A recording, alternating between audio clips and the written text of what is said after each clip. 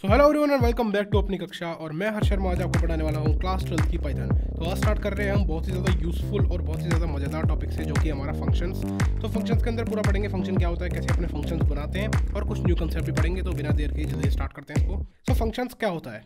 तो जनरली जब हमारे प्रोग्राम बहुत ज़्यादा बड़े हो जाते हैं ना तो उतने बड़े प्रोग्राम के अंदर काफ़ी सारी कोड की लाइंस होती हैं। तो इतनी सारी लाइंस काफ़ी कंफ्यूजिंग हो जाती हैं तो हम क्या करते हैं प्रोग्राम को कुछ पार्ट्स के अंदर डिवाइड कर देते हैं, कुछ ब्लॉक्स के अंदर डिवाइड कर देते हैं। तो ये जो ब्लॉक्स होते हैं, हमारे फ़ंक्शंस होते हैं, ठीक है? तो इसको जब हम स्मॉलर यूनिट्स के अंदर ब्रेक कर देते हैं प्रोग्राम को तो हमारा फ़ंक्शन बन जाता है।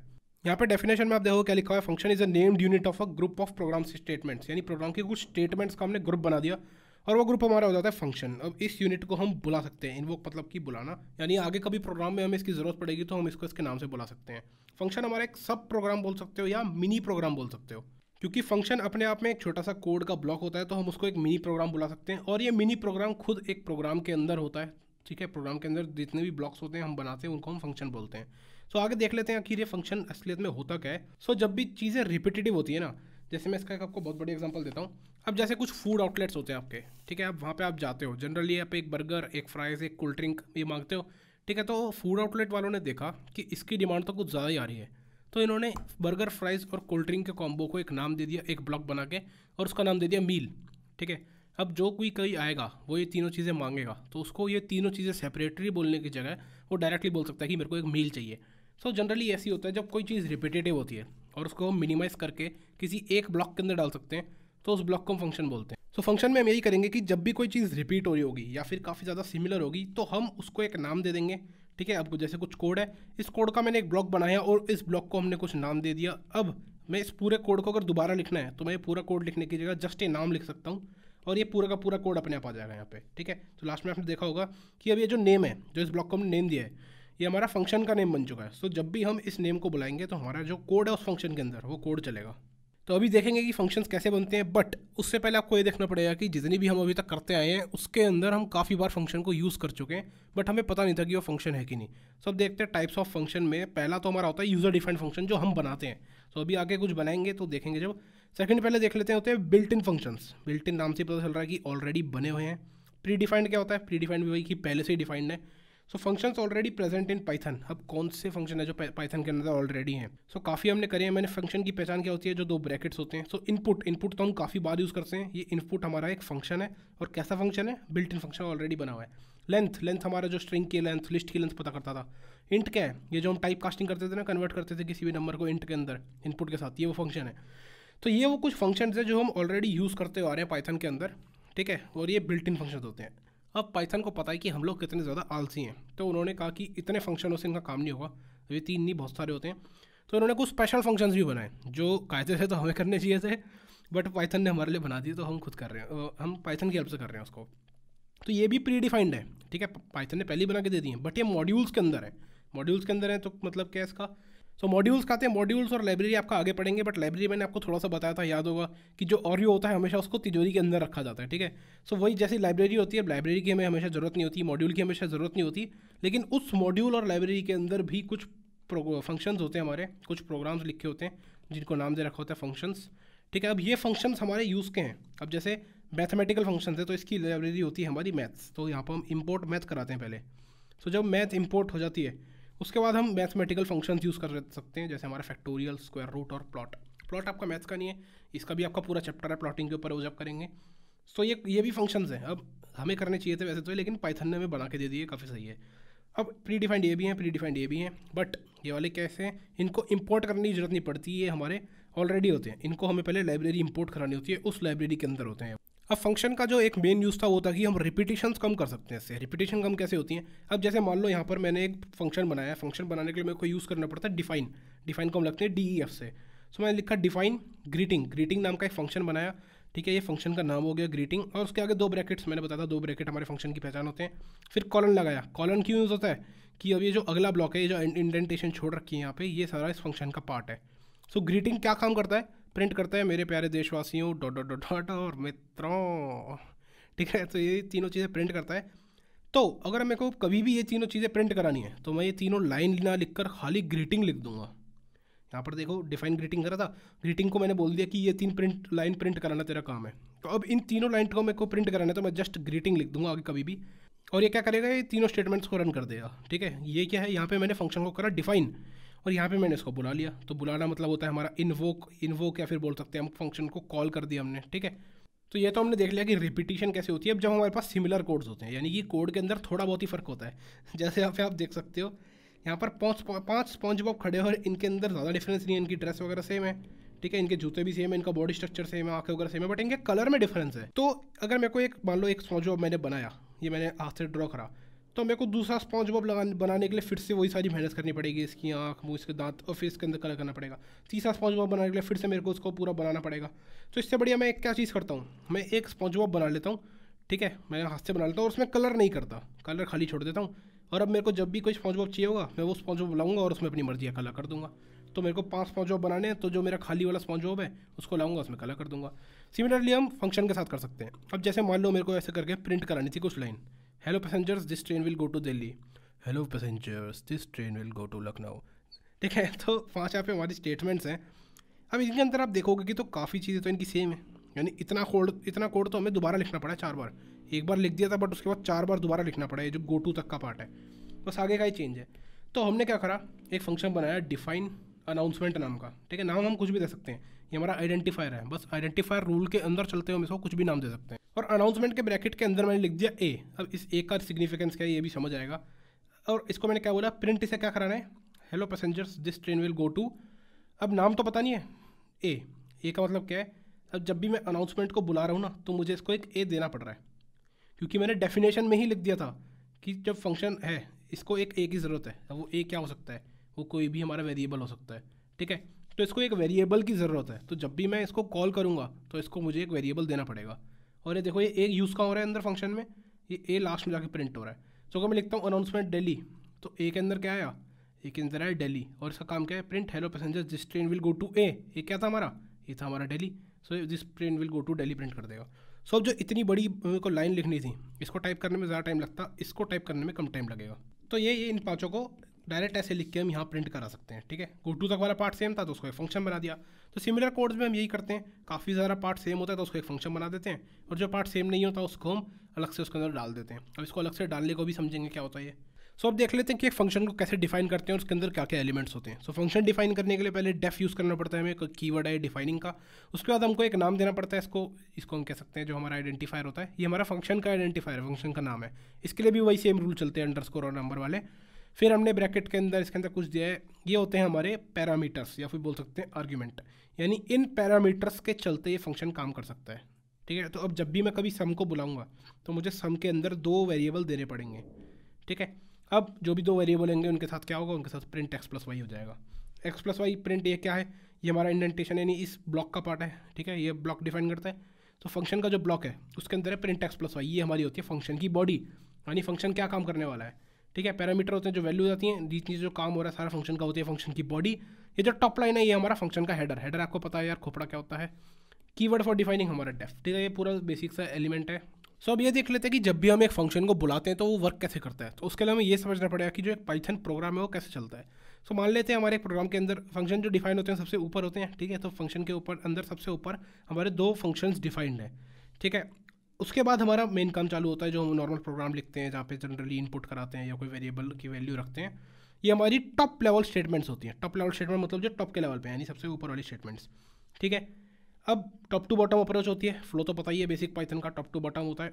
इसमें इंपॉर्टेंट चीज़ क्या है? ये जो टॉप लेवल स्टेटमेंट्स है ना, इससे ऊपर जो हमारे फ़ंक्शंस हैं, इनको पहले रीड नहीं करता हमारा इंटरप्रेटर जो होता है। ठीक है? जब वो नीचे आएगा तो इनको रीड नहीं करेगा। इनके खाली नाम नाम पड़ेगा, अंदर नहीं जाएगा इनके। इनके अंदर कब जाएगा? जब इन्हें बुलाएँगे।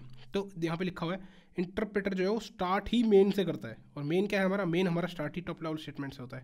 ठीक है? तो मेन यहाँ से स्टार्ट होता है। जहाँ से भी हमारा प्रोग्राम चालू हो रहा है ना, वहाँ से हमारा मेन चालू होता है। तो ये चीज़ हमें याद रखनी है कि जहाँ से हमारी टॉप लेवल स्टेटमेंट्स आ रही हैं। टॉप लेवल स्टेटमेंट यानी जहाँ कोई भी इनपुट करा लिया या फिर किसी वैल्यू कोई वैल्यू रख दी हमने, वो हमारी टॉप लेवल स्टेटमेंट होती है। जो भी फ़ंक्शन डिफाइन हो रही है, वो टॉप लेवल स्टेटमेंट में नहीं आएँगे। तो जैसे यहाँ पर एक एग्ज़ाम्पल देखें, एक फ़ंक्शन यहाँ पर डिफाइंड है जो कुछ प्रिंट प्रिंट करा रहा है, उसके बाद हमने यहाँ पे फ़ंक्शन को बुला लिया। सो इंटरप्रेटर कहाँ से स्टार्ट करता है? मेन से। तो ये पार्ट ऊपर वाला मेन का नहीं है। मेन पार्ट ये वाला है। सो इंटरप्रेटर यहाँ से पढ़ना स्टार्ट करेगा, फिर इसको पढ़ेगा और इसको पढ़ने के बाद अब इसके अंदर जाएगा। ठीक है, जब वो पढ़ेगा ना फ़न फ़न को बुलाना है तो यहाँ जाएगा फ़न के पास, फिर इसके अंदर वाली चीज़ को पढ़ेगा। तो फ़ंक्शन को कब पढ़ेगा? जब फ़ंक्शन को बुलाएगा। पहले कभी भी फ़ंक्शन के अंदर नहीं जाएगा तो बस इसमें आपको फ्लो याद करना है ज़्यादा कुछ नहीं पढ़ना। और ये पता होना चाहिए कि मेन कहाँ से स्टार्ट होता है। सो प्रैक्टिस टाइम में एक क्वेश्चन कर लेते हैं। बेसिक सा क्वेश्चन है हमारा। Write a program to add two numbers using function add करा सकते हैं बहुत ईजी है। बट ब्रैकेट में लिखा है यूजिंग रिटर्न तो इसको करते हैं इसके अंदर थोड़ा सा आपका डिफरेंट लगेगा। सो so, सबसे पहले एक फ़ंक्शन बना लेते हैं हमारा जो इन दोनों को ऐड करेगा। सो डिफाइन कर देता हूँ मैं यहाँ पर एक फ़ंक्शन ऐड नाम का। उसको क्या दो नंबर ऐड करने हैं तो दो नंबर उसे पैरामीटर में लेने पड़ेंगे। सो नंबर ले लेते हैं पी और क्यू ठीक है? यहाँ पे वो लगा दिया ब्लॉक के लिए। यहाँ पे थोड़ी सी इंडेंटेशन छोड़ेंगे ठीक है? यहाँ से थोड़ा सा हमें गैप छोड़ना पड़ेगा। सो so, अब क्या करना है हमें? दोनों नंबर को ऐड कराना है और रिटर्न कराना है। रिटर्न कैसे करते हैं? रिटर्न के लिए आपको बस लिख देना है रिटर्न और जो भी वैल्यू करनी है जैसे मैंने पी प्लस क्यू लिख दिया। अब रिटर्न में और नॉर्मल में अंतर क्या होता है? तो मैं यहाँ पे इसके साइड में एक नॉर्मल प्रोग्राम भी लिख लेता हूँ। सेम मैं यही करता डिफाइन करता ऐड उसको दोनों नंबर दे देता और यहाँ पे सीधा मैं प्रिंट करा देता दोनों नंबर पी प्लस क्यू अब अगर मैं देखूँ आगे मैं कभी ऐड को बुलाऊँगा आगे। सो so, क्या करेगा? अब ऐड को पहले मेरे को पैरीमीटर देने पड़ेंगे। सो so, मैं इसको यहाँ पे चेंज कर देता हूँ। सो so, मैंने मान इसको वैल्यू दी थ्री और फाइव तो ये थ्री प्लस फाइव प्रिंट करा देगा। बट जो ये रिटर्न वाली चीज़ है ना ये क्या करेगा? अब मैं लिखता हूँ यहाँ पर ऐड फोर कोमा थ्री तो ये ऐड कर देगा बट कुछ होगा ही नहीं। क्योंकि इस बार इसने वैल्यूज़ को रिटर्न करा है। रिटर्न करना मतलब क्या होता है? जो ये ऐड है ना अब ये खुद एक वैल्यू बन चुका है। ठीक है? रिटर्न मतलब वो ये जहाँ भी तू ऐड जहाँ से आया था ना जहाँ से ऐड को कॉल करा था। ये वैल्यू वहाँ पर रिटर्न हो जाएगी। सो so, ऐड यहाँ पर कॉल हुआ था तो यहाँ पर क्या वैल्यू रिटर्न होगी? रिटर्न क्या वैल्यू हो रही है? पी प्लस क्यू पी और क्यू क्या थे? फोर और three so four plus three seven यानी सेवन जो है वो रिटर्न हो रहा है जहाँ से ऐड आया था। तो यहाँ पर सेवन यानी ये जो स्टेटमेंट है इसकी वैल्यू सेवन बन जाएगी। सो so, जो ये कॉल की स्टेटमेंट होगी इसकी वैल्यू होगी सेवन सो so, इसकी वैल्यू सेवन है। वैल्यू सेवन का मैं क्या करूँ? वैल्यू सेवन को मैं खुद में प्रिंट करा सकता हूँ। तो मेरे को इसको अलग से यहाँ पर प्रिंट कराना पड़ेगा जब जाके ये चलेगा। ठीक है? या फिर मैं इसको किसी और वैल्यू के अंदर डाल सकता हूँ। जैसे प्रिंट ना करा कर अगर मैं लिख दूँ ए इज़ गस टू तो ए के अंदर अब सेवन वैल्यू हो जाएगी। तो जब मैं रिटर्न करता हूँ तो क्या होता है? जो भी मेरी वैल्यू है, जो मैं रिटर्न कराई है, अब हमारा फ़ंक्शन खुद एक वैल्यू बन जाता है। जो भी कॉल स्टेटमेंट है कॉल की स्टेटमेंट खुद में एक वैल्यू बन जाती है। इस केस में क्या हो रहा है? इस केस में तो हमने ऊपर उसको खुद ही बोल दिया कि प्रिंट कर दे। तो उसने प्रिंट कर दिया और इसका रिटर्न कुछ नहीं हुआ। ठीक है? रिटर्न कुछ होता है, वो बाद में समझेंगे, उसको इग्नोर करो। बट इसके अंदर वहीं प्रिंट कर देता है। इसके अंदर जो वैल्यू है, वो नीचे आ जाती है। जहाँ जहाँ से फ़ंक्शन कॉल हुआ है, वहाँ रिटर्न हो जाती है। ईजी सा समझ आ गया होगा। सो आर्ग्यूमेंट्स और पैरामीटर्स के बारे में थोड़ा सा और समझ लेते हैं। अब जैसे पैरामीटर मैंने आपको बता दिया, अगर किन्हीं वैल्यू पे काम करना है प्रोग्राम के अंदर सो so हम उसको ब्रैकेट में डाल कर दे देते हैं। बट पैरामीटर और आर्ग्यूमेंट के अंदर एक डिफरेंस होता है। डिफरेंस क्या है? आर्ग्यूमेंट वो होते हैं जो वैल्यू अंदर डाली जा रही है फ़ंक्शन के अंदर। और पैरामीटर्स क्या है? वैल्यू जो वहाँ पर मिल रही हैं। अब इसमें अंतर क्या है? जैसे हमारा नीचे एक प्रोग्राम दे रखा है छोटा सा। इसके अंदर जो ऊपर एक्स और वाई हैं, इनके अंदर वैल्यू आती है। So, जहाँ वैल्यू रिसीव होती है वो होते हैं हमारे पैरामीटर्स तो एक्स और वाई हमारे यहाँ पर क्या है? पैरामीटर्स लेकिन जो वैल्यू पास की जाती हैं जो वैल्यू हम पास कर रहे हैं वो हमारे आर्गूमेंट होते हैं। तो पास कौन सी वैल्यू कर रहे हैं? थ्री और फाइव तो हमारे आर्गूमेंट्स हो गए थ्री और फाइव और हमारे पैरामीटर हो गए एक्स और वाई अगर मान लो मैं थ्री और फाइव की जगह ए और बी ट्रांसफ़र करता तो हमारे ए और बी बन जाते हैं आर्ग्यूमेंट और हमारे एक्स और वाई बन जाते हैं पैरामीटर्स तो ये एक डिफरेंस होता है आर्ग्यूमेंट और पैरामीटर में। अब आर्ग्यूमेंट क्या हो सकता है? अब मैं कुछ भी पास कर सकता हूँ उसके अंदर बस कोई वो वैल्यू होनी चाहिए। मैंने बताया था ना तो जैसे अगर मान लो मेरा कोई फ़ंक्शन है ऐड तो ऐड के अंदर मैं कोई भी वैल्यू डाल सकता हूँ। थ्री कोमा फाइव डाल दिया या थ्री कोमा ए डाल दिया या फिर three comma A plus two डाल दिया, ठीक है? कुछ भी वैल्यू होनी चाहिए उसकी। तो लिटरल्स लिटरल्स होती है हमारे कॉन्स्टेंट वैल्यूज़ हैं। वेरिएबल्स की भी कुछ वैल्यू होती है। एक्सप्रेशंस जब हमने फ़र्स्ट चैप्टर में एक्सप्रेशन पढ़ा था तो क्या बताया था कि एक्सप्रेशन की भी कुछ वैल्यू होती है, ठीक है? तो इन तीनों की कुछ वैल्यू है। बट जो पैरामीटर्स हैं, जहाँ पर वैल्यू रिसीव हो रही है वहाँ तो कुछ बस हमें नाम चाहिए ना, वो तो कुछ आइडेंटिफायर होता है। जहाँ पे हम ए कोमा बी या पी कोमा क्यू डाल देते हैं। सो वो बस नाम होगा जो आने वाले वैल्यू को पकड़ेगा। ठीक है? आर्ग्यूमेंट ये तीन हो सकता है और पैरामीटर तो बस एक नाम है। जो भी आर्ग्यूमेंट पास करेंगे पैरामीटर उस नाम के अंदर उसको स्टोर कर लेगा। अब हम इनकी नेमिंग भी अलग कर सकते हैं। पहली नेमिंग क्या है? या तो हम जो पास कर रहे हैं उन्हें आर्ग्यूमेंट बुलाएँ और जो ऊपर वैल्यूज़ आती हैं मतलब जो वेरिएबल होते हैं, उनको पैरामीटर बुलाएँ। दूसरा क्या है? हम एक्चुअल और फॉर्मल यूज़ करके। या तो मैं एक्चुअल पैरामीटर और फॉर्मल पैरामीटर करके बोलूँगा दोनों को, या मैं एक्चुअल आर्ग्यूमेंट और फॉर्मल आर्ग्यूमेंट करके बोलूँगा। एक्चुअल वैल्यू कौन सी होती है जो एक्चुअली पास हो रही है? तो जैसे अभी मैं फ़ंक्शन को कॉल करता हूँ तो उसके अंदर जो भी एक्चुअली वैल्यूज़ जा रही हैं, वो हमारे एक्चुअल पैरामीटर या एक्चुअल आर्ग्यूमेंट कह सकते हो। अब दोनों में से कोई एक ही कहना है। अगर आप इसको एक्चुअल पैरामीटर कहते हो तो ऊपर जो हमारे वो हैं, जो असली पैरामीटर जिनके अंदर वैल्यू आ रही है, उनको हम बुलाएँगे फॉर्मल पैरामीटर फॉर्मल मतलब कि जो फॉर्मली है, जो उनके नाम है। ठीक है? एक्चुअल जो होते हैं, जिनकी वैल्यूज़ जा रही होती है फॉर्मल होती है, जो सबके लिए वहीं पर है मतलब खाली नाम है उनका, ठीक है? और अगर आप इसको बुलाते हो एक्चुअल आर्ग्यूमेंट तो इसको आपको फॉर्मल आर्ग्यूमेंट बुलाना पड़ेगा, ठीक है? जो ऊपर वाले होते हैं फॉर्मल नीचे वाले होते हैं एक्चुअल अब देख लेते हैं कि हम आर्ग्यूमेंट्स को पास कैसे करते हैं। अभी जैसे हमने सम बनाया था सम के अंदर हमें दो वैल्यूज़ चाहिए थी तो सम के अंदर मैं टू कॉमो थ्री या कोई भी वैल्यूज़ दे सकता हूँ। बट अब यहाँ पर मेरा एक कैलकुलेट नाम का फ़ंक्शन बना हुआ है, उसकी कुछ भी डेफिनेशन होगी लिखी नहीं है मैंने। ठीक है इसके अंदर तीन वेरिएबल मांग रहे हैं ए बी और सी ये है हमारे तीन पैरामीटर्स अब इसके अंदर क्या क्या आर्ग्यूमेंट पास करें? सो so, पहली बार हमने इसके अंदर पास करा टू फोर और वन तो ठीक है ए में जाएगा टू बी में जाएगा फोर सी में जाएगा वन अगली बार हमने पास करा एक्स एट थ्री ये भी ठीक है एक्स की भी कुछ वैल्यू होगी। अगली बार हमने पास करा पी क्यू आर इनकी भी कुछ वैल्यू होगी। अगली बार हमने पास करा टू कॉमा वन अब टू की वैल्यू तो चली गई ए में वन की वैल्यू चलेगी बी में। सी क्या करेगा बेचारा? सी का खाली बैठेगा। तो ये हमारा दे देगा एरर क्योंकि यहाँ पर सी को वैल्यू नहीं मिली।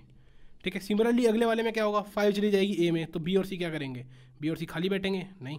तो ये भी हमारा रॉन्ग तो ये ऐसे आर्ग्यूमेंट्स हैं जिनकी वैल्यू हमें देनी ही देनी है, ठीक है? अगर इनकी वैल्यू मैं ना दूँ तो एरर आएगा।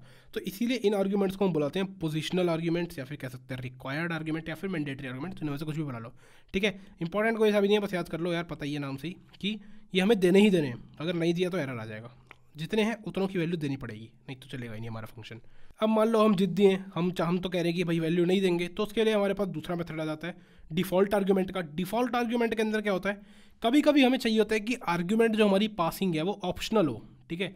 जैसे कि मेरा ऐड फ़ंक्शन है, उसके अंदर मेरे को दो पैरामीटर देने हैं तो मेरा, मैं चाहता हूँ कि अगर मैं दो ना दूँ, एक भी दूँ तो भी मेरा काम चल जाए। तो उस केस में मैं कुछ इसके अंदर तिकड़म लगा सकता हूँ, वो होती है हमारी डिफ़ॉल्ट आर्ग्यूमेंट की। अब डिफ़ॉल्ट आर्ग्यूमेंट को मैं आपको एक एग्ज़ाम्पल से समझाता हूँ। जैसे हमारी मम्मी हमसे पूछते हैं कि क्या बनाना है तो यहाँ पे एक डिफाइन फ़ूड है। ठीक है, हम हमसे हमसे दो चीज़ें पूछनी है कि एक मेन खाना क्या है और एक सेकेंडरी खाना क्या है।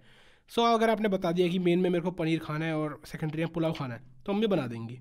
बट आपने बोल दिया कि चलो मेन में मेरे को पास्ता खाना है मम्मी बोल रही सेकेंडरी में, अब सेकेंडरी में तुम बता ही नहीं रहे हो सोचे जा रहे हो। अब मम्मी की भी एक लिमिट होती है तो मम्मी सेकेंडरी में तुम्हें पार्ले जी ही देंगी, ठीक है? और अगर मान लो तुम कुछ भी नहीं बता रहे हो, मम्मी पूछने की बता क्या खाना है, और तुमने कुछ भी नहीं बताया, तुमने एक भी आर्ग्यूमेंट नहीं दिया तो मम्मी के पास दो डिफ़ॉल्ट आर्ग्यूमेंट रखे हुए हैं और वो सबको पता है। मेरे को बताने की ज़रूरत नहीं है। ठीक है तो जब भी हम ऐसे इक्वल करके वैल्यूज़ डाल देते हैं तो वो हमारी डिफ़ॉल्ट बन जाती हैं। और डिफ़ॉल्ट का मतलब क्या है कि जब हम कुछ भी नहीं देंगे, तब ये दोनों आएँगी। ठीक है? अब जैसे मैंने पहले दोनों दे दिए तो ठीक है, दोनों आ गए। पनीर और पुलाव। अब मैंने खाली पास्ता दिया, दूसरा वाला नहीं दिया तो दूसरा वाला ऑटोमेटिकली पार्लेजी बन जाएगा। ठीक है? और अगर मैंने दोनों ही नहीं दिए सो दोनों अपनी दोनों वैल्यू पकड़ लेगा। तो इसके अंदर जो भी है वो इन वैल्यूज़ के हिसाब से चलेगा। तो ये डिफ़ॉल्ट होते हैं। अब आगे और एग्ज़ाम्पल से इसको समझेंगे समझ आ जाएगा। अब जैसे यहाँ पर हमको एक फ़ंक्शन दे रखा है हमारा सिंपल इंटरेस्ट कैलकुलेट करने वाला। अब डिफाइन इंटरेस्ट करा और ये हमारे तीन पैरामीटर देता है प्रिंसिपल टाइम और रेट अब मैंने क्या करा प्रिंसिपल टाइम ये रखे हमने अपने रिक्वायर्ड पैरामीटर या मैंडेटरी फॉर पैरामीटर और इसको हमने रखा कैसा? डिफ़ॉल्ट पैरामीटर या फिर डिफ़ॉल्ट आर्ग्यूमेंट मतलब इसकी वैल्यू डिफ़ॉल्ट हो सकती है। सो so, अब मैं लिखता हूँ interest three thousand comma five तो थ्री थाउज़ेंड चला जाएगा प्रिंट में प्रिंसिपल में फाइव चला जाएगा टाइम में, और रेट नहीं दिया तो ठीक है रेट हमारे पास ऑलरेडी है।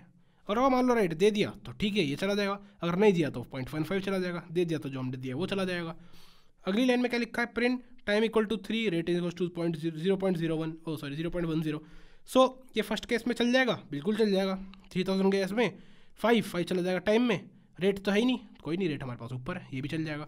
दूसरी स्टेटमेंट अगर इसमें चला के देखें थ्री थाउज़ेंड चला गया। टाइम नहीं है, कोई बात नहीं टाइम ऊपर है। रेट भी नहीं है, कोई बात नहीं रेट भी ऊपर है तो ये भी चल जाएगा।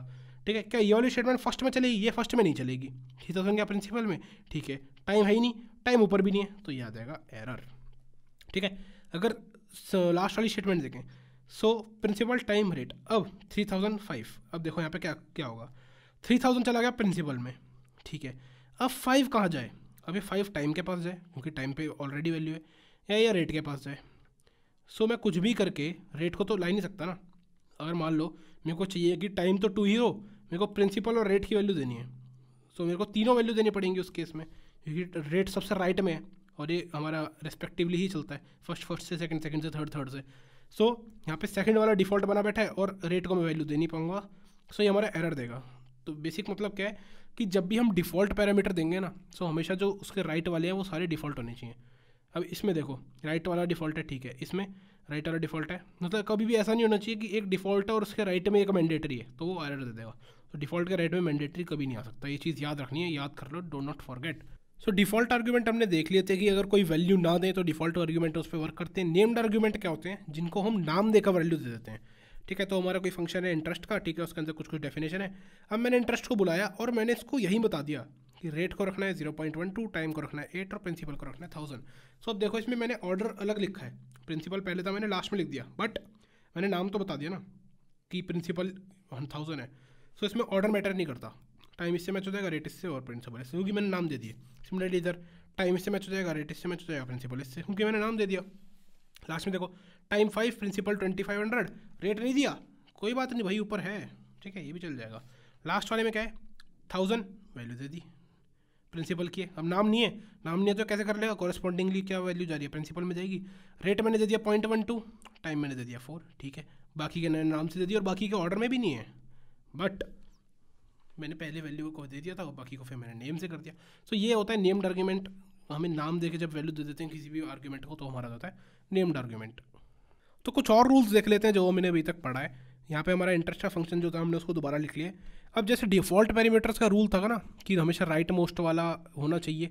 सेम हमारा नेम्ड आर्ग्यूमेंट के साथ सीन है। नेम्ड आर्ग्यूमेंट के साथ क्या है, कि हमने पहले वाला तो नेम्ड दे दिया, उसके बाकी तो ऐसे छोड़ दिए, ये हम नहीं कर सकते, ठीक है? हमेशा अगर एक को नेम्ड दिया है तो उसके राइट वाले सारे भी हमें नेम्ड ही देने पड़ेंगे। ये हमारा रूल है।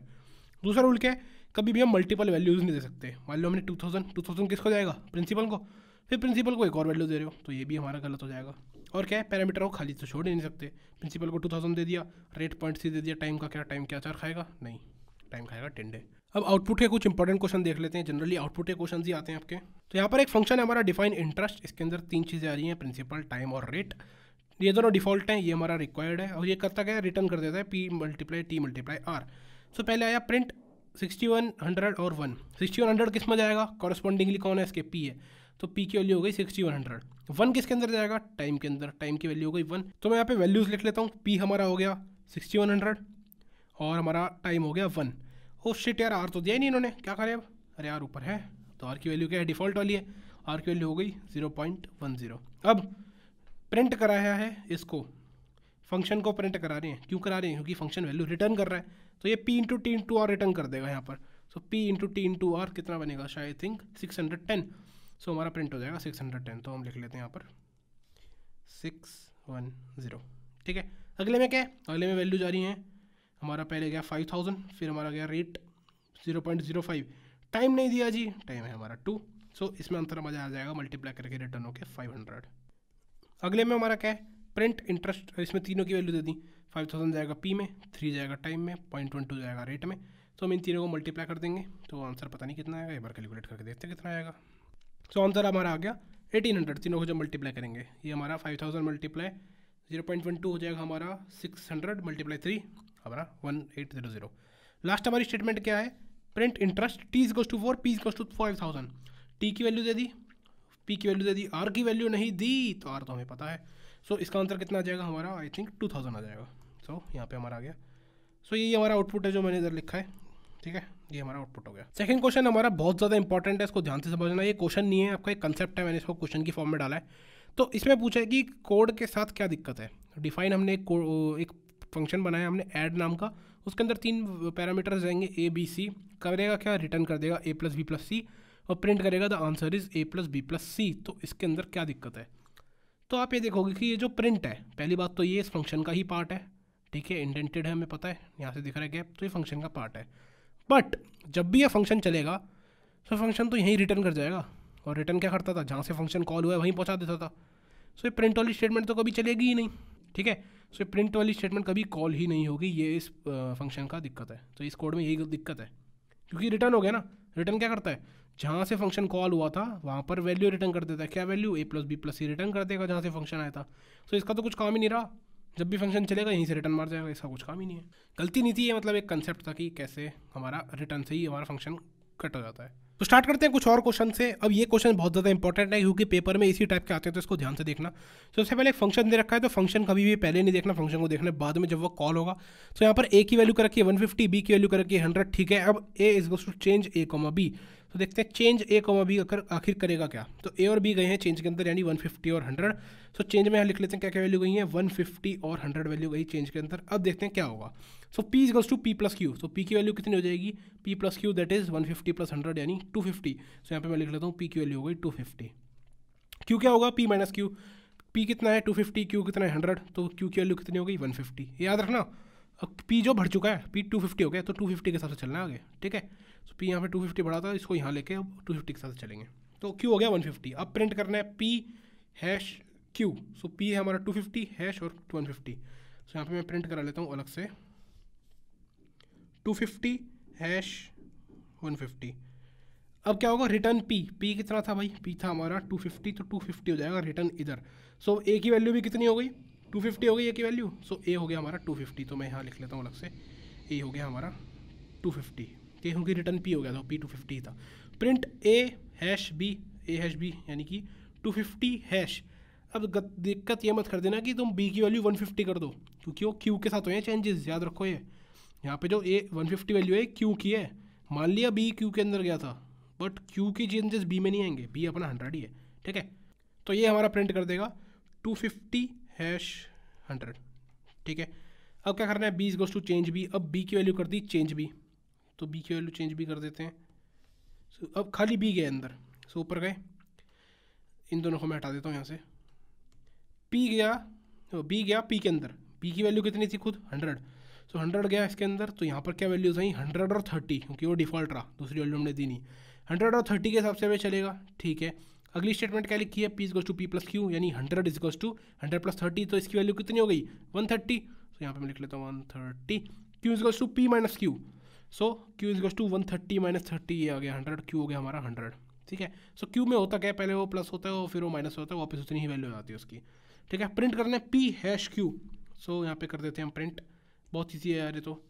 पी पी की वैल्यू है हमारी वन थर्टी हैश क्यू की वैल्यू है हमारी हंड्रेड सो ये आंसर हो गया ख़त्म. रिटर्न पी कर दिया। पी का वैल्यू थी हमारी वन थर्टी सो ये रिटर्न कहाँ जाएगा? जहाँ से फ़ंक्शन को बुलाया था फ़ंक्शन बुलाया था यहाँ पर सो हमारी बी की वैल्यू भी वन थर्टी हो जाएगी। बट ये हमसे पूछी नहीं है। सो ये हो गया हमारा आउटपुट सिंपल क्वेश्चन था पेपर में ऐसे ही करना है। बस ये जो मैं चीज़ कर रहा हूँ, ये हमें रफ में करनी है। हमें डायरेक्ट नहीं करनी है उसमें कहीं क्वेश्चन पेपर ही सड़ा दो तुम लोग। तो अगला क्वेश्चन भी देख लेते हैं यार, बहुत ज़्यादा इंपॉर्टेंट है, ठीक है? प्रीवियस ईयर क्वेश्चन हैं और पेपर में आता है यार इस टाइप का। सो यहाँ पर हमारा एक फ़ंक्शन है डिफाइन फन फन को देखेंगे बाद में कि ये करता क्या है। पहले पहुँचते हैं मेन पे। अब मेन देखो है कहाँ पर? ये पूरा फ़ंक्शन का ही पार्ट है इंडेंटेड है ये। ये पूरा फ़ंक्शन है। मेन सीधा यहाँ से स्टार्ट है। मेन में क्या हो रहा है? Fun of at the rate Gmail dot com so fun के अंदर जा रहा है at the rate Gmail dot com so fun के अंदर चलो और इसके अंदर डाल देते हैं at the rate Gmail dot com तो के इज़ गोल्स टू है लेंथ ऑफ़ एस एस कितना है हमारा? At the rate Gmail dot com so K की वैल्यू होगी at the rate Gmail dot com की लेंथ तो इसकी लेंथ निकाल लेते हैं पहले। One two three four five six seven eight nine ten तो इसकी लेंथ होगी टेन टेन ही है ना? दोबारा देख लेते हैं। पाँच, चार, पाँच। ठीक है टेन सो के की वैल्यू हम कर देते हैं टेन ठीक है? फिर हमने एक एम बनाया। एम बनाई हमने एक स्ट्रिंग और उसको छोड़ दिया। हमने खाली खाली स्ट्रिंग है हम एक। फॉर आई इन रेंज अब आई को एक रेंज के अंदर चला रहे हैं ज़ीरो टू के और इफ़ एस ऑफ़ आई यानी कि स्ट्रिंग जो हमने डाली है at the rate Gmail dot com इसका आई एथ इंडेक्स आई कितना है अभी तो? अभी तो ज़ीरो है। आई चलेगा ना ज़ीरो से गेम है आई तो ज़ीरो है। सो यानी एस का ज़ीरो अगर अपर है तो क्या करना है? एम के अंदर प्लस कर देना है उसका लोअर सो so, क्या एस का ज़ीरो भी अपर है? ना भाई अपर तो नहीं है तो अल्फ़ाबेट है ठीक है। अगला क्या है? चेक करना है अगर ये नहीं होता तो क्या चेक करेंगे क्या ये अल्फ़ाबेट है? नहीं भाई अल्फ़ाबेट भी नहीं है। तो तो, तो एल्स वाले केस पर देंगे तो इसमें क्या करना है? एम के अंदर हमें ऐड कर देना है बी बी सो एम खाली था अब एम के अंदर हमने बी बी ऐड कर दिया। सो हमारा एम हो गया बी बी ठीक है? सेकेंड आइट्रेशन चली अब आई की वैल्यू हो गई one so S of one यानी स्ट्रिंग का वन स्ट्रिंग का वन है हमारा जी ठीक है? क्या ये अपर है? नहीं है भाई नेक्स्ट कंडीशन पे आओ। क्या ये अल्फ़ाबेट है? है। तो हमें क्या करना है, इसके अंदर ऐड कर देना है एस ऑफ़ वन का अपर यानी जी का अपर ऐड कर देना है। तो जी का अपर हो गया हमारा कैपिटल जी तो इसके अंदर हमारा ऐड हो गया एम के अंदर कैपिटल जी ठीक है? नेक्स्ट नेक्स्ट आइट्रेशन पे आते हैं। नेक्स्ट आइट्रेशन हमारी आएगी आई की वैल्यू टू के लिए। सो अब एम एम क्या है? क्या एम अपर है? नहीं एम क्या है? अल्फ़ाबेट है। तो क्या होगा? अपर ऐड हो जाएगा। ठीक है? अपर ऐड हो गया। नेक्स्ट क्या है हमारा? ए ए भी हमारा अपर ऐड हो जाएगा। आई में भी हमारा अपर ऐड हो जाएगा। एल में भी हमारा अपर ऐड हो जाएगा। तो सिंपल है ना, समझ आ गया? क्योंकि अपर कोई भी नहीं है में से। सारे लोअर हैं। तो अपर के बाद वाली कंडीशन चल रही है अल्फ़ाबेट वाली, सारे अल्फ़ाबेट से सो ये हमारे अपर में ऐड होते जा रहे हैं। फिर आया डॉट डॉट क्या अपर है? नहीं, क्या अल्फ़ाबेट है? नहीं तो क्या हुआ? बी बी ऐड हो जाएगा। सो यहाँ पे ऐड हो गया बी बी अब डॉट कॉम पूरा हमारा क्या है? जो हमारा डॉट कॉम है, पूरा अल्फ़ाबेट है अपर भी नहीं है। सो ये सारे के सारे कैसे होंगे? अपर में बन के ऐड होते जाएँगे।